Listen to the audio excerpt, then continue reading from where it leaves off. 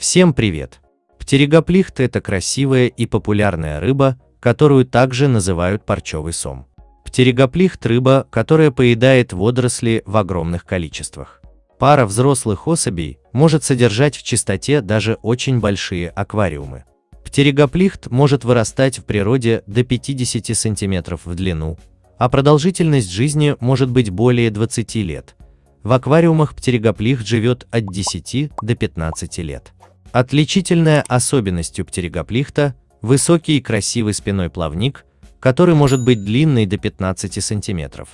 Этим сом напоминает морскую рыбу – парусник.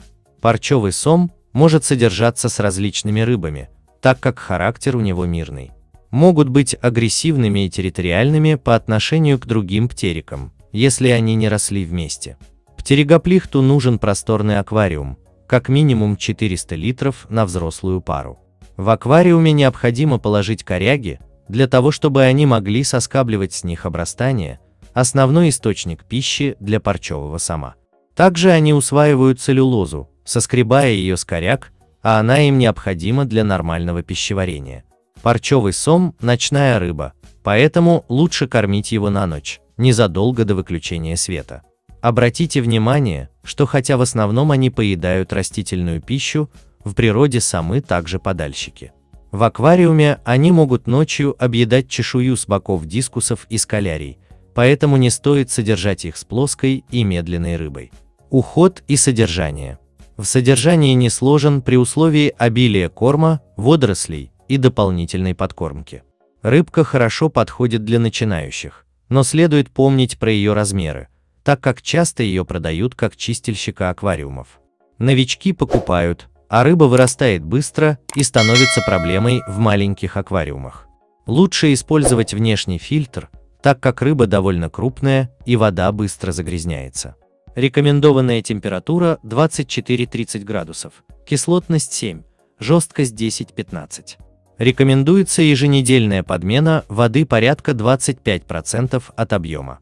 Кормление. Очень важно кормить парчевого птеригоплихта разнообразной растительной пищей. Идеальное сочетание – 80% растительной и 20% животной пищи. Из овощей можно давать шпинат, морковь, огурцы и кабачки. Сейчас продается большое количество специальных кормов для самов, они хорошо сбалансированные и могут составлять основу рациона. В комбинации с овощами будет полноценный рацион.